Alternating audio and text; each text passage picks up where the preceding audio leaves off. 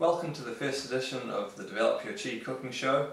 We all know how important whole grains are in our diet, so over the next few weeks we're going to be looking at a few simple foods that we can make in our own home using wholemeal and whole grains. Today's recipe is going to be for wholemeal flatbreads or chapatis or tortilla, uh, depending where in the world you're from. These are our ingredients, it's really simple. Wholemeal flour, we've got two and a half cups here one teaspoon of salt, just going to put that in, and one cup of water. We stir these all together and begin to knead it. We're going to knead for about 10 minutes.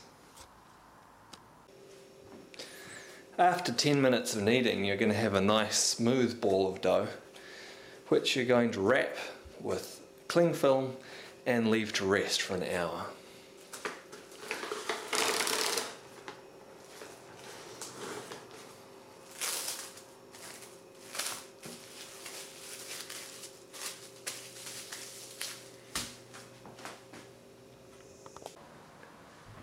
After the dough's rested for about an hour, um, we're going to unwrap it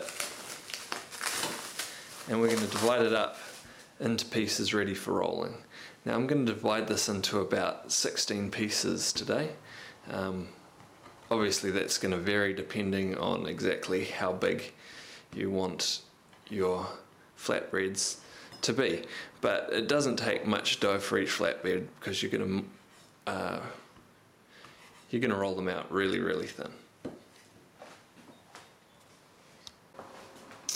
When it comes to rolling, you're going to want to use plenty of extra flour to help to stop the dough from sticking.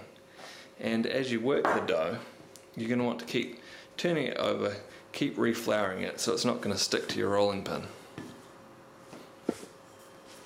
And basically you want to roll this dough out until it's somewhat circular and about as thin as you possibly can while of course still fitting it in your inside your frying pan.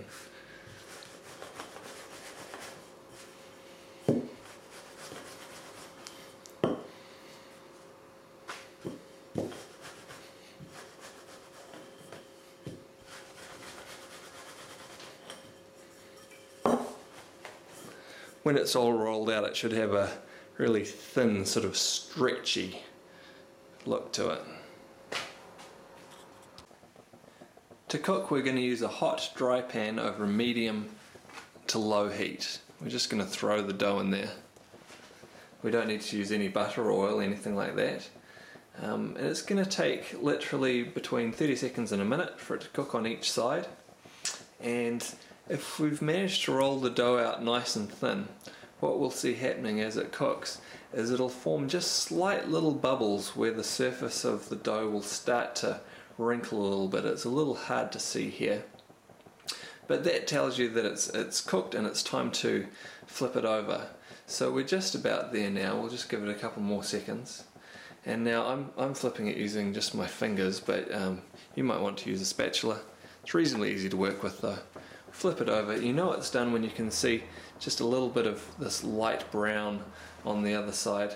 We're going to leave it again for about another 30 seconds this time and then we're going to take it out of the pan and it's done.